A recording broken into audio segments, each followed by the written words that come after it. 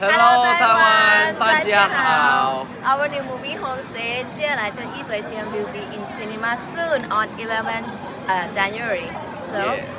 please check it out. I hope you like it. And now we are in the vacation trip in Taiwan, and Yay. you know, being here is so much fun. Food is delicious. I love all of this, and I hope to see you guys again in January. So See you. Please come to the movie. การอยู่ในร่างเนี้ยก็เหมือนอยู่โฮมสเตย์ มินมีเวลา 100 วัน ที่จะตอบให้ได้ว่ามินตายเพราะใคร เราถ้าผมตอบไม่ได้อะมินก็จะตายมินอยากกลับมาในห้องนี้อีกเลยนะ มันไม่ใช่แบบที่มินคิดนะพายชอบมินคนนี้นะ